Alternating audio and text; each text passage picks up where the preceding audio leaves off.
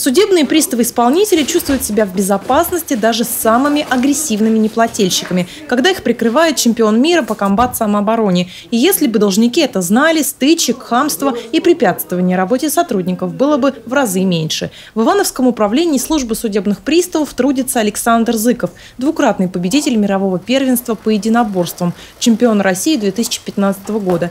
Его главная должностная обязанность – обеспечивать безопасность сотрудников. Трудится Александр чаще всего в суде. Работа напряженная, ни одно заседание не обходится без накала страстей. Постоянно на готове нужно быть, выполняя и другие поручения начальства. Представляете, отправляем людей, там, грубо говоря, везем с Иванова до Москвы, да, они сидят в наручниках, бывает там кто-то даже лежит на полу. Ну, представляете, там, я не знаю, каким-то образом кто-то освободился и так далее, там, подобное, сбежал. Представляете, какая ответственность на сотрудниках лежит. Поэтому, ну, как бы, поэтому не нервная. Свои боевые умения спортсмен на работе не применял еще ни разу, пока удавалось остудить пыл недовольных обычным разговором или, скорее, суровым взглядом. Александр совмещает должность пристава с тренерской. Он преподает рукопашный бой в боксерском клубе. Вспоминает, спортом начал заниматься в 16 лет.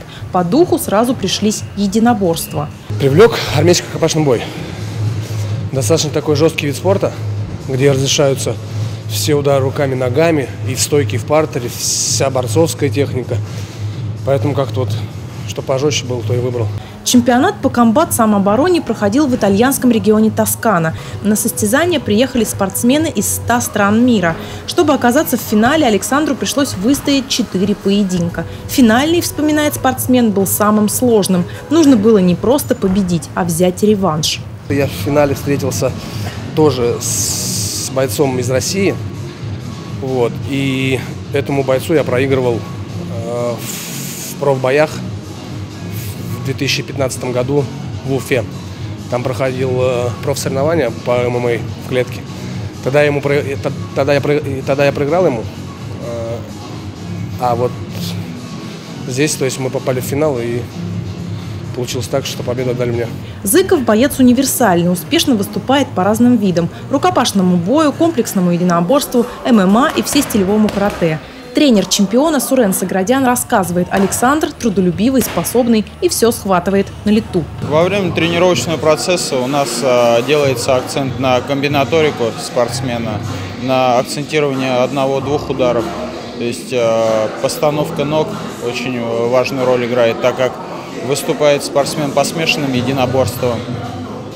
И база, можно сказать, там у него э, греплинг, борьба, ноги, но э, руки немного отстают, поэтому работаем над этим. У него такая природная сила, я вам не объясню, вы все увидите во время тренировочного процесса.